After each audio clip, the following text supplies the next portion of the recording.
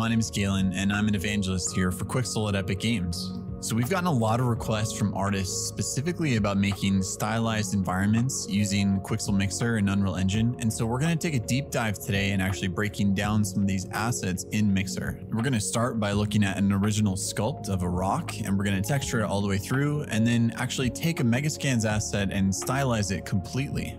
We're super excited to be making this tutorial series for you guys. So without any further delay, let's jump in. So I want to start by actually looking at some of the reference that was pulled for this specific environment, as it's going to inform a lot of the decisions that we're going to be making, be it texturally speaking or sculpt based. As you can see, we're going for something that's definitely stylized in nature, really saturated and has a lot of exaggerated shapes I'm even going to go in and start to try to get this brushstroke effect on a lot of these different assets that we're going to be working with. So some of the standout characteristics of what we'll be working with here are a lot of the color decisions, a lot of the textural decisions, but also trying to find something that's completely new and unique for our scene. But I'll be referencing this specific callout sheet a couple times in the tutorial. And this sheet was super important in order to help make a lot of the decisions in making this environment. And I also want to give major credit to Jack McKelvie for actually making this environment. We'll be taking a look at some of the different assets that make up this environment and really diving deep into Quixel Mixer to look at some intermediate level techniques. So we're going to start today's tutorial by actually looking at one of the main subjects of the environment in the floating rocks that you're seeing in the front of the environment. So I'm not going to show my entire sculpting process, but I figured I'd talk a little bit about some of the principles about what it is that we'll be doing with this asset. So it literally started just from a sphere and from there just started to extend some of the shapes and I'm just trying to very quickly discover the composition of this element. As you can see, I'm working at an incredibly low resolution and I'm dynameshing very frequently so that I can continue to maintain an even topology across the entire surface. Just in looking at the reference that I've pulled for this environment specifically, I really want everything to be kept incredibly angular. So I'm using a planar cut shallow brush with a square alpha. And what this is going to allow me to do is really kind of cut into this mesh a lot. And like I mentioned, I'm using the smooth brush a lot and dynameshing very frequently and just pushing and pulling on the surface a little bit to try to find exactly what it is that I'm going for. I didn't have a very detailed concept for this specific object, so as you can see, I'm very much winging it here just by cutting off some large shapes, pushing and pulling in some of the elements, and just trying to find something that's compelling in the frame. I'd say especially early on in this stage, you definitely want to be keeping your resolution very low so that you don't commit yourself to any really high resolution detail too quickly.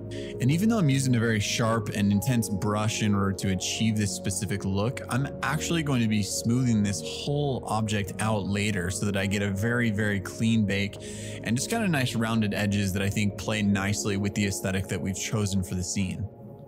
And like I mentioned, we're going to be looking at Megascans assets here as well and using those as a jumping off point for creating this stylized environment. Now, I really like this Japanese wall here. And what I'm going to do is actually download the ZTL that's actually included as part of the package here.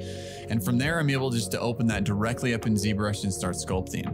It's important to note that you could bring in a low resolution version of this mesh, but what I like to do is actually pull the highest resolution here so that I can actually smooth it myself and then make some creative decisions afterwards. Artists ask us all the time about whether or not photorealistic assets can actually be turned into stylized elements. Now, the answer to this question isn't necessarily a straightforward one, but what I will say is that most artists are always pulling from photo reference, even if they are trying to mimic a stylized example. For instance, you would draw on the reference of the real world to inform a lot of your lighting decisions that you would make in an environment like this one. In a similar way, using scans here, I'm using this rock wall to inform the way in which these stones would actually lay on top of each other. Now, while I could have created this asset from scratch, I really want to save myself a lot of time by just letting the scan actually be my jumping off point here. And I'm not reinventing the wheel by having to go in and decide what each exact shape should look like, how the boulders should be stacked on top of each other, or anything therein. And from there, I'm just importing my style on top of it.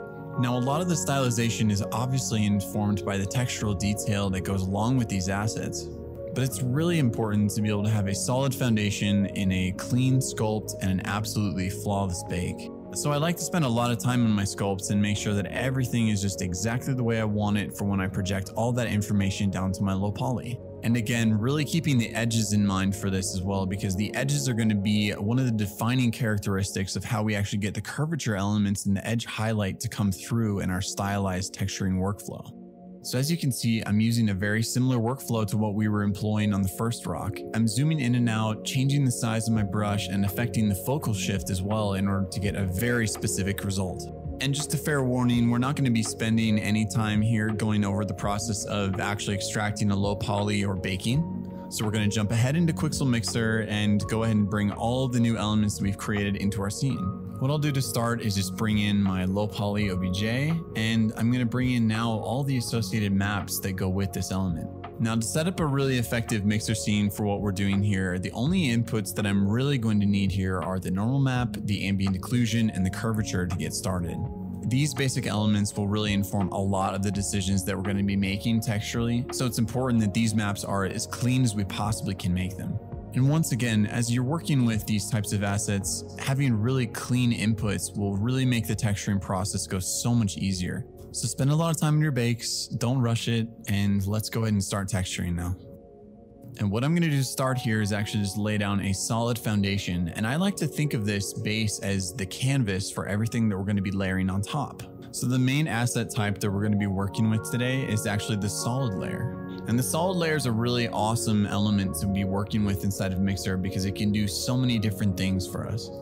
All the work that we're going to be doing from here out is going to be building on top of this base layer. So just keep that in mind as you start to layer on these new effects as we keep going.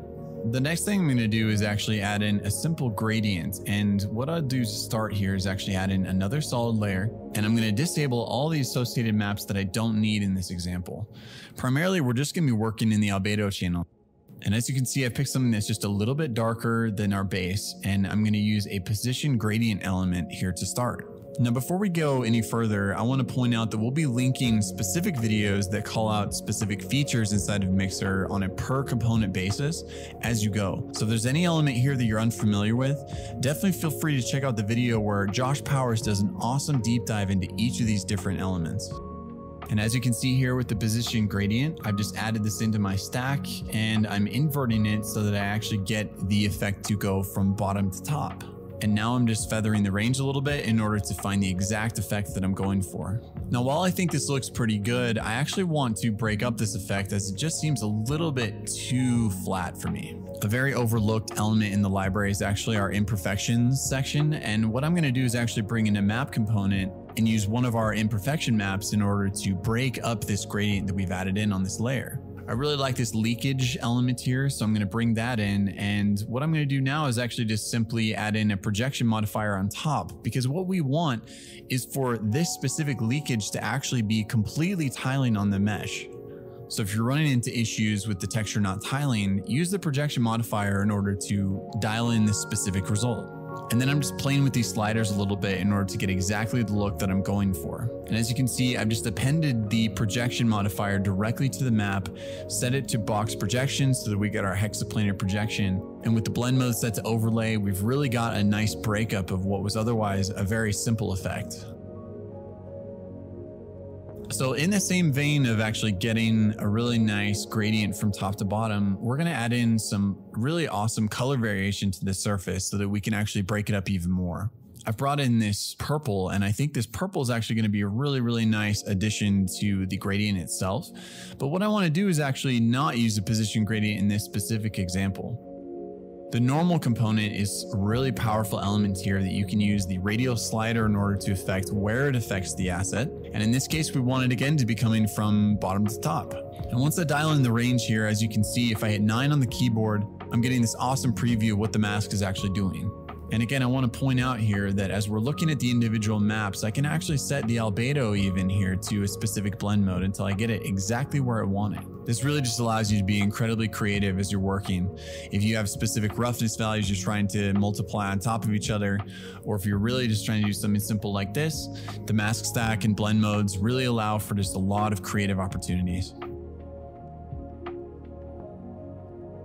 And the next thing I want to do here is actually bring in some cool tones right into the crevices of this asset.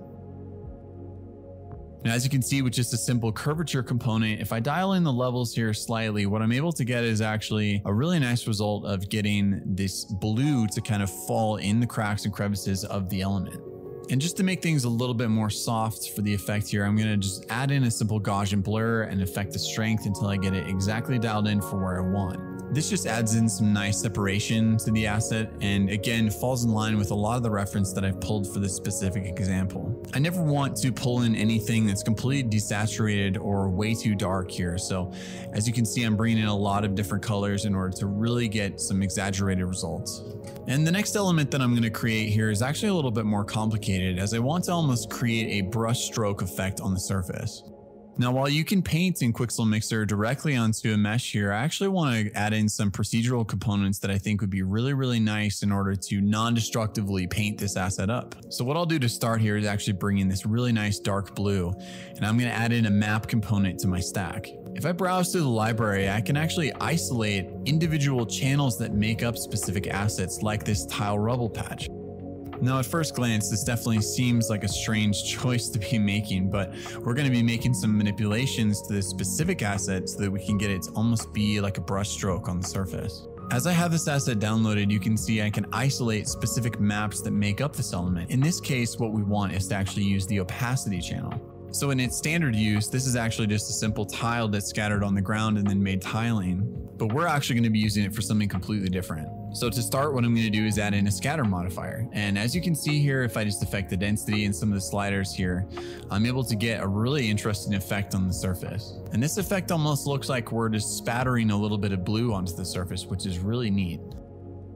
Now, if I add in a noise component to the top of this stack, I can go to the distort blend mode and actually affect the intensity of the distortion of this element. So I'll start to play around with some of these sliders here. I'm just going to be messing around here in the viewport, as you can see. But what I'm going to be doing is mess around with blending modes, affecting the distortion, and really trying to find a scatter pattern that I think works really well. And as you can see, we're creating some really awesome shapes from this. The distort modifier does so many cool things for us and we're just affecting the noise in such a way to where it's completely breaking up what was otherwise just squares on the surface. And I really encourage you to go in and seed some of the different frequencies, change maybe the octaves, and definitely play with some blending modes with this. And I think you'll land on some pretty happy accidents that will give you a pretty cool result at the end. Now I really like what we've created here with this base, but what I'm going to do now is actually create a warm version of this and actually just change some of the parameters that we've created with this scatter effect. And all this is really doing is just breaking up the surface even more. And I've been looking at a lot of reference specifically for this environment where I'm looking at creating just a very painterly look. And all these elements combined actually would give us a very specific result for our stylized scene. The next thing we want to do is actually add in some moss to this. And so I'm going to add in just one more solid layer here and go and find a green that I think works really well for our scene. And once again, I want to create a tiling element here. So we're going to use the exact same workflow that we did before in creating this brush stroke look but we're going to be pulling in a specific asset here that almost looks like grass that's tiling on the surface. So once again, I've just isolated the opacity layer and we're going to scatter this effect directly on the surface. Now, as you can see, as we really bump up the density of this specific effect, we're getting a really unique look here. And what I can do here once again is just change maybe the brightness jitter, maybe affect the way the angles are falling on the asset, and obviously playing with the scale exactly here to where we get the exact frequency of detail that we're looking for. And obviously what's really cool about working in this specific workflow is that every single thing we're doing here is completely non-destructive in the viewport. So at any time we can go sub in a different asset, maybe change the scale of the element, really anything you can imagine. And once again, I'm going to be using a normal modifier here in order to make it so that the grass only affects the top elements here that are exposed. And using specific blend modes in this case will limit that effect to exactly what it is that we're going for. And I want to employ a very similar technique to what we did even on the brush stroked elements as well here, where I'm going to duplicate the asset altogether and then just change some of the sliders here in order to break up some of the surfaces even more. So I've changed my blending modes here to maybe get the green to pop a little bit more.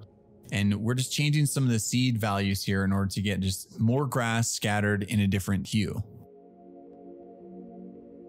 All right, and the last thing that we definitely need to do here is pop the edges a little bit. So I'm gonna add in one more solid component and find something that's a little bit more desaturated from what we were going for in our base and actually just limit this effect using a curvature modifier on top.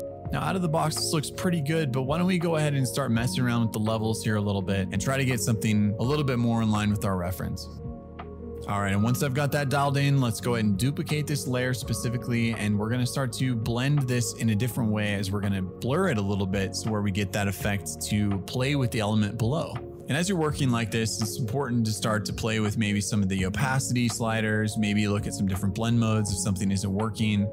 But I think we've got something that looks pretty compelling here. So why don't we go ahead and save this now as a smart material. I want to duplicate this exact same texture and workflow on a couple different assets. So what I'm going to do is actually save this now as a smart material so that we can save ourselves a lot of work down the road. One important note when you're working with smart materials is that you cannot bring in anything that has paint layers associated with it. The reason for that being that it's going to be working in different UV space as it's a different asset. So if you've gone in and painted anything specifically for your mesh, you're going to have to delete it for this specific operation, but we can obviously go back in later on a per mesh basis and start to work out whatever it is that we want to carry over.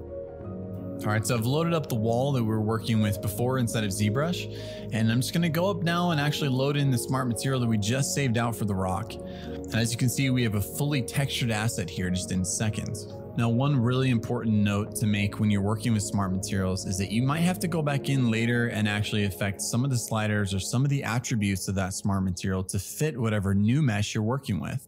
In this specific case, I want to actually dial in maybe the curvature a little bit more and affect the way that the moss is actually sitting on the surface of the rocks. So while I've already saved myself a ton of time here, I'm just going in and customizing it even more so I get exactly the look that I'm going for in this asset specifically. And as you can see, we've taken a Megascans asset, repurposed it, resculpted it, and found a completely different look for it. And we've done exactly that same thing on a couple different assets for the scene that you're looking at now. I really hope this tutorial was helpful for everyone, and I cannot wait to see what y'all come up with using Quixel Mixer in the library. If you haven't already, be sure to subscribe to our channel where we're going to be doing a lot more of this type of content going forward. And if you have specific requests or ideas for different types of content, definitely leave us a comment in the section below.